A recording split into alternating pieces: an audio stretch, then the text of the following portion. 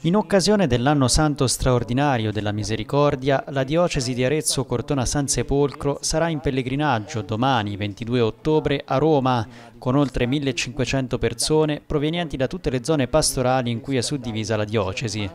L'appuntamento per i partecipanti, rigorosamente organizzati in gruppi, è previsto in Piazza San Pietro alle 7.30